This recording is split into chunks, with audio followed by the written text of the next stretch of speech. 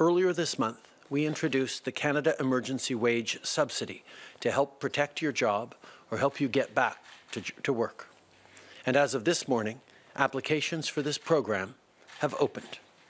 Employers can now submit a claim for the Canada Emergency Wage Subsidy through the Canada Revenue Agency.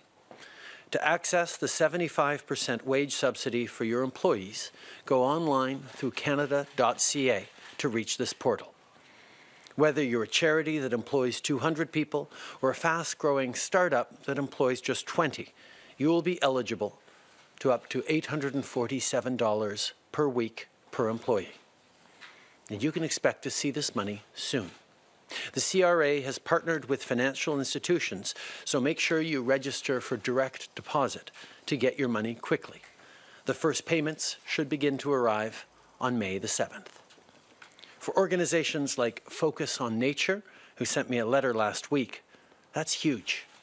Because of COVID-19, this charity from Guelph would have been forced to lay off all of their staff. But thanks to the wage subsidy, they can now keep their employees on the payroll and keep teaching kids about nature. And there are so many more stories just like this one. There have been over 300,000 views of the online calculator we launched last week to help businesses prepare a claim. And since the portal opened at 6 a.m. this morning, almost 10,000 businesses have already applied for it.